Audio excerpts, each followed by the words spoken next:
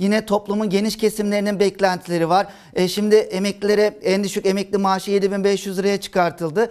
Ancak 7500 liranın üzerinde alan emekli maaşlarına zam yapılmadı. E ne oldu? Aradaki makas daraldı.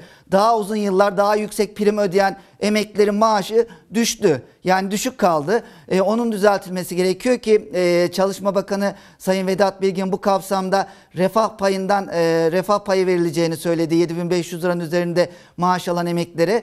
E, bu önemli. E, işte staj mağdurları var. E, emeklilikte prime takılanlar var. 5975 gün e, prim şartı getirildi biliyorsun EYT'de. Evet. E, ona yönelik beklentiler var. Uzman çavuşların kadro beklentisi var. Atanmayı bekleyen öğretmenler var. Yine Kemal Kılıçdaroğlu'nun vaatlerinden bir tanesi 100 bin öğretmen ataması. E, dolayısıyla toplumun geniş kesimleri e, sorunlarının çözülmesini istiyor. E, yine emeklerin ekzam beklentisi var. E, bu konuda biliyorsun kulis bilgilerimizi paylaşmıştık.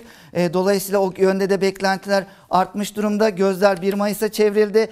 E, Cumhurbaşkanı Recep Tayyip Erdoğan 1 Mayıs'ta Memur Sen'in genel kuruluna katılacak. E, yine elimde bazı bilgiler var. Vaktimiz varsa kısaca onu da e, söyleyebilirim. Çok bir iki cümle. Memurlar aslına bakarsan Cem Tamam. E, Memurlar aslına bakarsan zam oran e, oransal zamdan daha ziyade seyyanen zam bekliyorlar. Yani e, 11.500 lira alan e, memurlar var. Onlar e, bunun 15.000 liraya çıkartılmasını istiyorlar. Yani düşük e, maaş alan e, memurlara 5 bin lira seyyanen zam işte yüksek memur alanlarda 3 bin lira e, seyyanen zam yapılsın beklentisi var. Şimdi oransal olarak yapılırsa Temmuz'da zaten e, toplu sözleşme dönemi var. E, bu böyle bir ek zam yapılması halinde o oranın e, toplu sözleşmede verilecek zamdan mahsup edilebileceğini düşünüyor memurlar. E, dolayısıyla öncelikli talep seyyanen zam ve e, o, e, üzerine de bir %30'luk zam beklentisi var. Ha bu karşılanır mı karşılanmaz mı? Onu da Cumhurbaşkanı Recep Tayyip Erdoğan'ın 1 Mayıs'ta vereceği açıklamalarda görmüş olacağız.